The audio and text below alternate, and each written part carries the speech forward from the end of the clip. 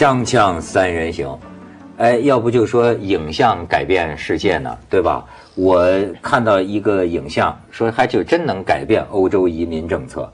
我看了之后啊，我觉得就心痛，就是真是就一张照片，在这个时代，三岁的小孩，这三岁的这个呃这个小男孩，在这个那个过海难民嘛，从土耳其那边，最后是在土耳其的一个海滩上，这个船翻了，十七个有十七个难民一条船。你知道现在组织这个私船的这几个人现在上法庭了，啊，也都吓吓得跟孙子似的。他们就说我们也是想逃的难民呢，但是那不管这事儿就轰动国际，土耳其法庭就要审了。然后你可以看看这些照片，哎呦，你看这个孩子，才三三岁，这个小宝宝就这么死在这个怒海之中。你再看下边，你看这是海岸的救援人员，这张照片呢传遍全世界。震动了每一个欧洲国家的心。你再看下边，这是孩子的父亲。再看，孩子父亲一家全死了。这个咱们看到的，你看孩子的妈妈、孩子的哥哥也全淹死了，只活下来孩子的父亲。你再看，这叙叙利亚难民嘛，这是叙利亚难民在布达佩斯。这是这几天国际的新闻，咱们也应该看看啊。这个火车站，他们在火车站，火车站对，拥挤这个火车站。一开始匈牙利就拦着嘛，他们想通过匈牙利啊去奥地利，通过奥地利去德国，最多的人是想去德国。匈牙利专门搞了一个墙，不让他们进。对，你看这挤火车，把火车都挤挤爆了。慕尼黑，嗯，没有。但到慕尼黑是欢迎他们的，唱着歌欢迎他们。再看下边，你看这是哎火车站。对，这挤在火车站，大批的这个叙利亚难民，好像也有伊拉克的难民，是吧？都有，都有。你再看，主要是那个伊斯兰国那块。你看，就那就只得在火车站前面广场上席地而卧。再看，嗯，就举着孩子，举着孩子，哎呀，像这样的孩子，就是就是其中有一个就已经死在大海当中了。你再看下边，哦，这是在这个街上啊表达诉求。再看。哎，这都是这个难民的队伍在走，啊，这就是那个匈牙利那个铁丝网吧，正在翻啊，翻越铁丝网。对，你再看下边，你瞧，看见人了吗？人是这么藏在汽车里的，偷偷渡啊，偷渡。这车一开着，怎么怎么怎么受得了？受着啊，受着啊。那有的人就在车里闷死了。你看，这是几条路进入申根国家，哎。就是匈牙利是最前线，是吧？然后你看，德国批准他们进入，好家伙，这这个默克尔就成了他们的心中的圣人，举着默克尔的呃图像进德国，嗯，哎，你说这欧洲人不是过去听说挺高尚的吗？但是我觉得他们的民众。表现出是挺高尚，就是来了的这些难民啊，你都看见好多欧洲人自己开着车接他们，把自己家里的吃的就给他们。但是从一个政策的角度上讲，一开头是很冷漠的。几个这个层面上讲，这个事情，这个难民潮从一一年其实就开始了，但是之前呢，他一直没有受到特别大的一个关注，这有各种原因了。一开始这个人数没有那么多，但是呢，就是最近因为是这个伊斯兰国。攻城略地的这个地方太多了，所以出逃人多。还有呢，就是最近我估计海就是海上啊，这个天气啊，这个风浪大，好几艘船都翻了，就整船人就不见了。所以有这个这个报道出来嘛？所以他们现在说哦，我们估计有三十万难民过来哈，就是比如说，但是你不知道海上有多少人，就整船整船都没有了，你不知道。所以这样的报道一出来，再加上有这些这个照片等等哈，很多人就说这欧洲人难道他们没有良心吗？其实也不是，他们呢说我们当年接收从这个东欧过来的那些难民，对吧？他们都是很欢迎的。但最近你知道这几年在欧洲这个排外反移民的这种啊，特别的高涨。就你别说刚才那个小孩的，就那个呃，就那个照片啊，一开始大家都很同情的，结果在德国呢，就没过几天，有一些那个极端右翼的啊，他们就出来说，这是怪他爸爸妈妈，他爸爸妈妈羡慕我们的生活，非要到这里来，他们不是过不下去才来的。就，他也会转向这个，还有好几个在德国的那种那个极右翼党派把难民营给烧了，但那是比较少的。但是真是人，就是民众啊，民众真是好的。你知道有那些那个旅店，就是那个 I 呃 I B N B 吧，就是在网上就是可以跟你换房住的，他们去收难民。啊，那个教宗这两天就也说了嘛，说每一个教区都要收至少收一家难民，就要这样收。就是说人民救人民啊，等不了政府了，这时候 就那就自己救。而且真的，他因为涌入太多了，原先估计说他们的接就整个啊，就在呃这个欧洲接收能力是三万多，好，现在一下来了三十万，后头还有，怎么办？其实我就觉得，就就这个东西吧，不能空喊口号。某些说起慈善，说起什么啊？但是你也要务实的为这个人想一想。对，就这就像说，我们不主张为了救一个火灾，把这个消防员一百多个都给丧了命，对吧？你这个，我有我有时候觉得啊，批评别人真的很容易。比比如说，我说，哎，你们欧洲人这帮人为富不仁，是吧？人家都落难了，人家都这样，你怎么这样？可是我有时候想起来啊，要是到我家里呢，比如说没处住了，难民来了。安排到您家里住住家住两家行吗？甭说你得管带他的这个吃喝，他的任何事情你要为他负责。而且我还得到消息，这伊斯兰国和这个基地组织肯定有一个比例的人就混在这些个难民队伍。欧洲一些国家的安全部门担心的也是这个，他们要制造破坏。那你知道你碰见谁吗？所以有些时候的确，我能理解。就一方面，很多人一看这个小孩子的照片呢，大家就觉得欧洲你们这些人太冷酷了吧。所以呢，这年头我发现也就是危 都是危机管理，真出了事儿了，群情耸动了，咣咣咣，这几个欧欧盟嘛，这几个国家就开始就商量了。哎，我我我我我们收两万，你们收两万。英国最近也答应五年收两万，就说我们都得收了，都得收了。就说人不死，照片没拍出来，都没到这个份儿上。你说是不是？所以你们觉得他这个欧洲现在这个对移民啊，就对这个难民有一定的接收啊，是出于感情的人道的原因？不完全，他们有人说呢，为什么英国人收的少？就一开始他也不想收，那个以色列是绝对不收了啦，因为那都是阿拉伯人嘛，他他不能这么说啊，他说我们国家小，这其实那很明显嘛，那个。那个全都是那个阿拉伯人，那我怎么收？那英国呢？他一开始他不收，呃，就是比较少，但是德国收的多。他们就说呢，因为是德国缺劳动力，德国这几年的人口在下降。就也有这样的一个说法啊，就说他们需要这样的人来补充劳动力。本国的算盘也得打一打。对，但是呢，那个默克尔他就因为收的也真是太多了，然后已经是超过他们几倍于他们原先想过的要收的这个人数。所以你他说长久会改变这个国家。所以你联系起来，你就记得啊，前一阵默克尔闹过一个新闻，那个是现在难民举着默克尔的画像，那个时候德国多少人骂默克尔，就是因为他参加一个小学的一个活动。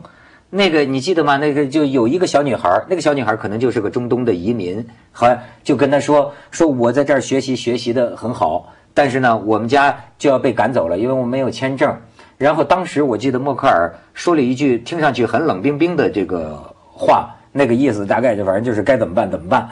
结果很多人就批评默克尔没良心啊，就是怎么对待这个移民这个态度。你看今天看来又是这样，他又要选举了嘛，他准备。据说他要第三任要去选举了，而且现在都管他叫妈妈，而且就叫那个默克尔妈妈。那些那个就是那个难民叫他，把自己的小孩就取名字都叫默克尔。但不，我说一句不讨好的话了，嗯，可能到时候人家要批评了。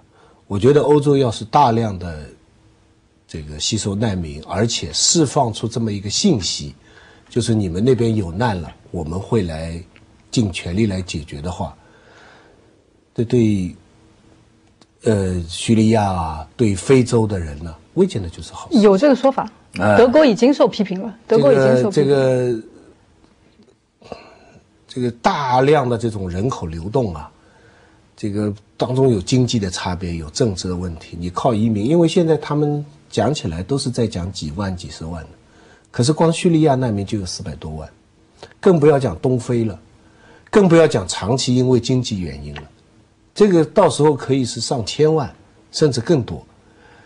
所以我不知道他们，我是看不大懂，因为我觉得一个欧洲这些国家，现在英国、法国都出来表态，好像都一个可以解释的原因是，就是你们刚才讲是面对民意，而民意是被传媒所驱动，大家出于善良的同情心。我觉得这个人真是很善良，很多人 Facebook 上面牵起来组织车队迎接移民，但是。客观来讲，一个政府他愿意接收移民，他以前哈通常是还出于一些别的考虑，比方说缺少劳动力，嗯，比方说我收了难民，敌对国的难民，我可以动摇敌对国的军心。在以前很多难民是这样的，这个越南难民那时候香港也接收，西方国家对越南难民都持欢迎的态度，其实要打击这个越南这个政府的这个信心。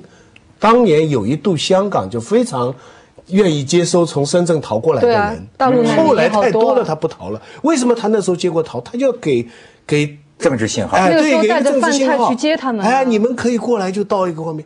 现在这些因素都不存在。你看，劳动力也许有，但很快就满了。对的，对于叙利亚，你你他叙利亚不是交战国，呃，真正的交战国是那个伊斯兰国，就 I 什么 ISIS ISIS ISIS 开心死了。你看，第一显示了它的威力，给你们世界造成这么大的一个压力。我打不到你，可是我打了这些以后，这个难民把你们搞得一塌糊涂。第二，就像你刚才说的，我要派人回欧洲啊，它太容易了。现在这样大量的人进来，可是徐老师，那你说不那不收怎么办呢？我不知道，但是我觉得这不会是一个长远政策，因为他们很快就会发现劳动力跟这个影响敌国的心理这些因素不那么重要，余下来还有一个因素，小人之心了。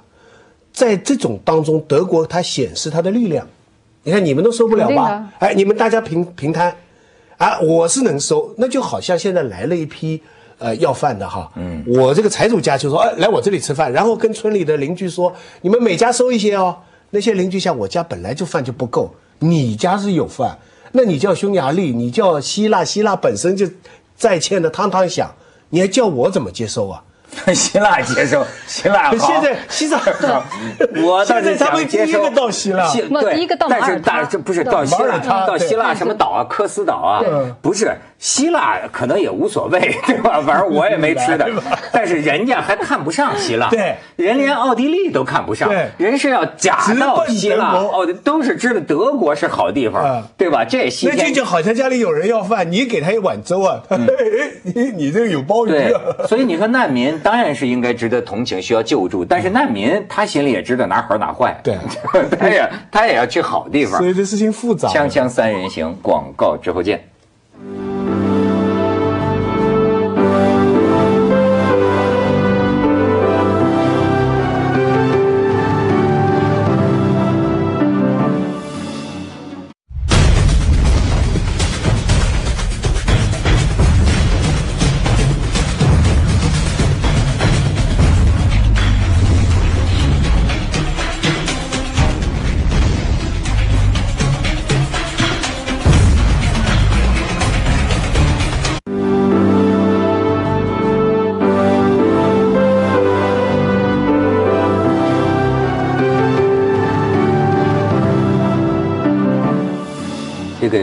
军刚才有一个，我觉得说的也挺重要，就是说啊，哎，这个呃现在联合国说了啊，移民和难民是两个概念你们要弄清楚是吧？难民要救助，因为难民指的是战争、灾难、这个暴力和躲避这些东西，所以你移民你是要按照移民程序去办，所以这是俩概念啊。但是呢，这些难民进了德国之后，他是不是早晚大部分也就是德国人了？也不一定。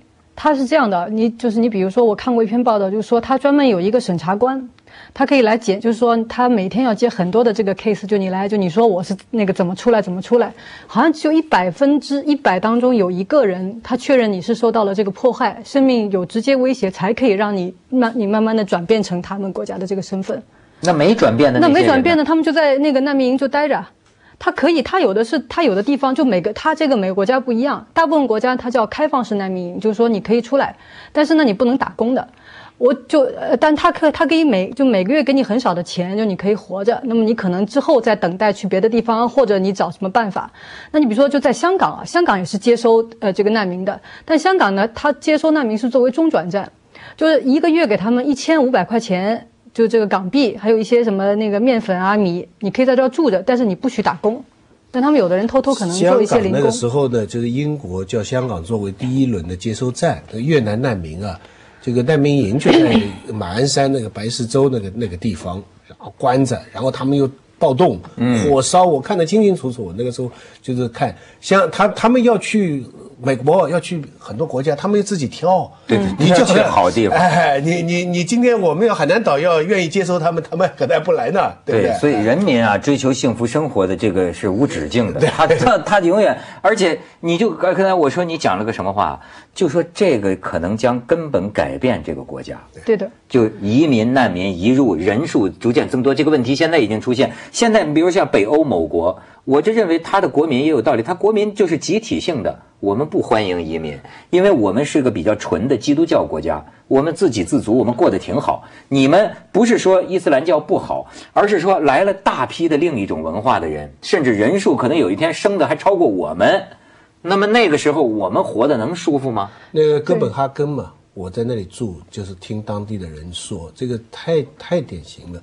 就是说，他们也是好心收了一些阿拉伯的，在之前呢是移民，那个时候还不叫难民，也有些就是难民，但是就大家生活方式完全不一样。那那边的白人嘛，喜欢骑自行车，嗯，喜欢运动，吃蔬菜，然后呢就是呃呃不结婚，嗯，不大生孩子，对不对？就有很多是这样，对不对？锻炼身体，然后那个伊那个伊斯兰教的到了那边移民过去呢。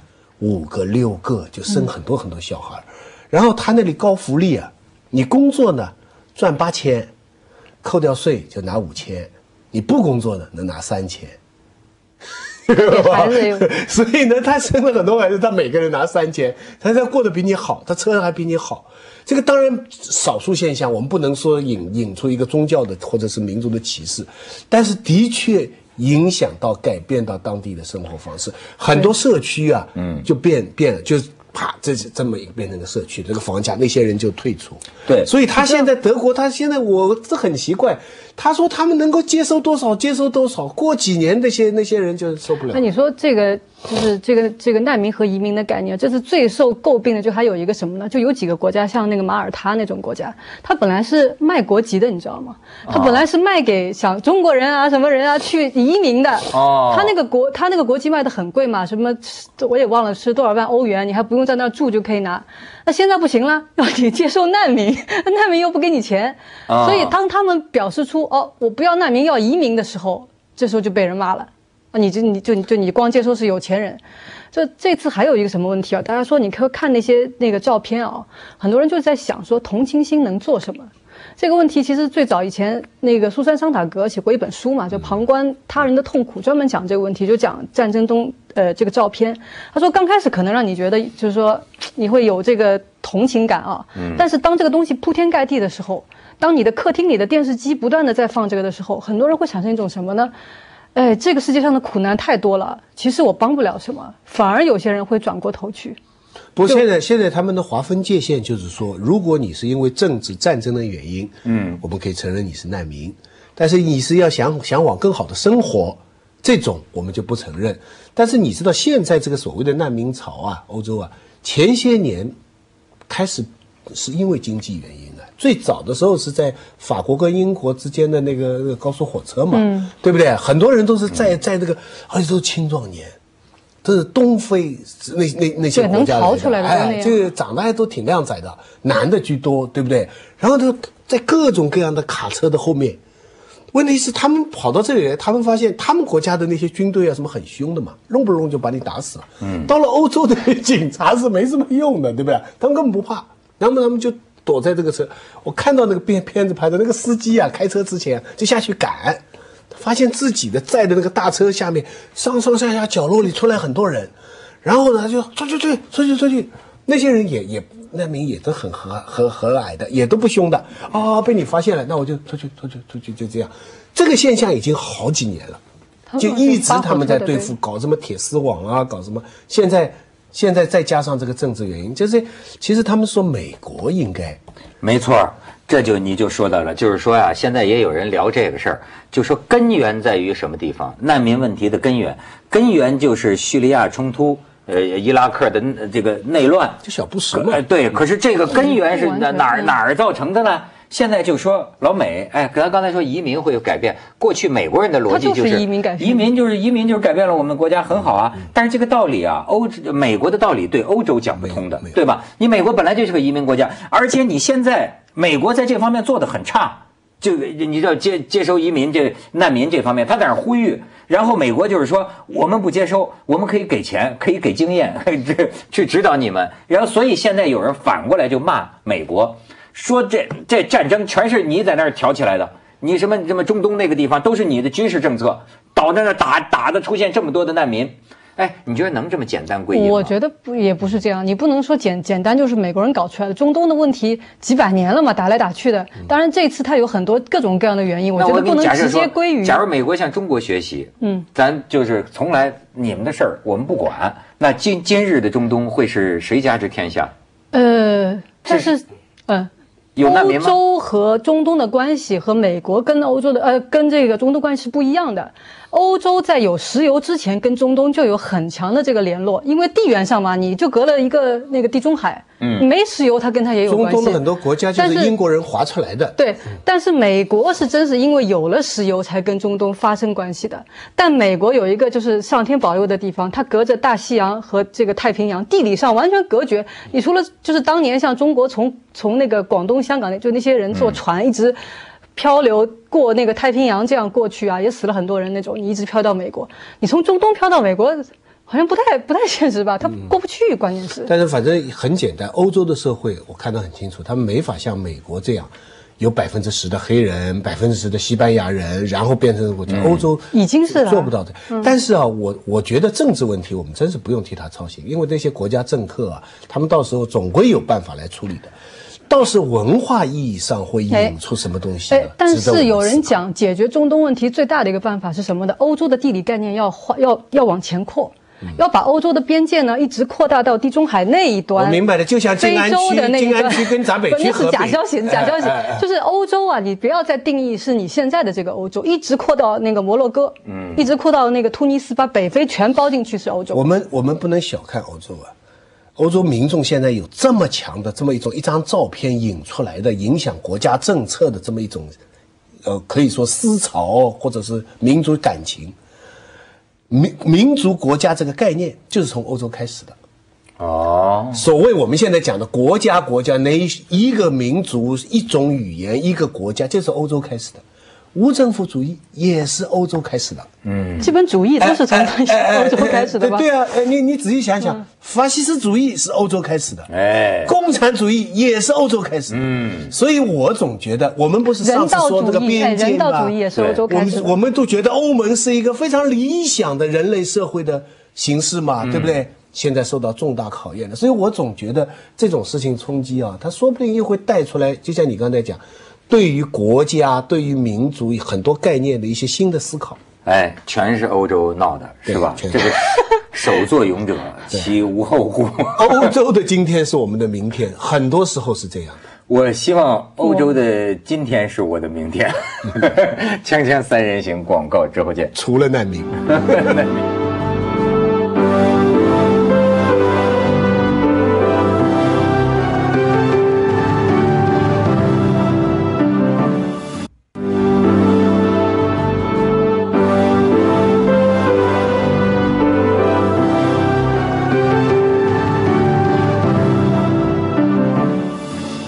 叙利亚三岁男童浮尸海滩的这个，他的父亲叫阿卜杜拉，嗯就是全家死光，有一部分就是在叙利亚的这个战战火当中被打死了，再有这一条船上，他全家人都死光了。他现在带着他的孩子又回到土耳其下葬，你知道他现在的选择是什么？他说：“我哪儿也不去了，我就守着我的这个孩子。我原本出去是因为这儿待不下去，我想给家人创造更好的生活，去德国。现在他们都死了，他说我就在叙利亚，我现在唯一的愿望就是叙利亚回到和平。我现在就觉得，哎，这个，哎，我爸他们经历过，我听我爸说过，就是因为战争，因为战乱，你就知道过去为什么叫兴百姓苦，亡百姓苦。你们这个各派政治势力啊，在这里争胜，实际战火一起，你这当年我们老家是在山东那个。章丘那个、那个、那个、那个地方，我爸爸就记得啊，就是你看这个老百姓的视角啊，他完全看不清，小孩什么都不懂，趴在就是趴在那个草垛子上，他一边是国民党，一边是共产党，甚至更早，就是一边是八路军，一边是日本鬼子，就在两边放枪。他说有我爸那小孩不知道说有的子弹他啪啪从我们头上打过去，小孩就看热闹。然后他就记得某个时候，他一说，后来我知道什么时候的解放战争那个时候，半夜里村里就这个哈逃，全一路上就跟冯小刚拍的《一九四二》一样，他说络绎不绝，看不到尾，看不到头，推着小车，他就跟着我爸，跟跟着我爷爷就那么走，从老家往济南城，说济南城里有亲戚，结果到济南兵临城下，解放军围了城，围了城，找着一什么电话给济南那个亲戚。打就说不行了，这儿要打起来要攻城了，你们还是回去吧。就是跑到济南，原路又逃这个战乱。他就说，我记得那个时候就听见人啊都在喊，就说打进济南府啊，活捉王耀武啊，那就是那个时候解放军在打这个济南。后来我当时我就想，我爸他们就小时候这一村的人呐，就是你看跑到济南在打仗，跑回老家又在打仗，跑到哪儿又在打仗，完全不知道你们哪头的，穿黄军装的，穿绿军装的。知道吗？见到当兵的就躲，就害怕。所以战争这东西就是你说的这个覆巢之下，呃，也有完卵。但是你这，然后又可以从另外一个角度说啊，这个战争的根源它也也就你刚刚说要怪美国，恐怖主义的威胁是对全世界的。其实没有人可以在这个时候做旁观者的，啊，你说这个是怪谁？那中国政府就是自己也说，也有中国的那个维族也加入了。所以这种这种东西它都是全全球化的一个。不过，接着为您播出健康新概念。那个时候是逃到一个安全的地方就好了。现在说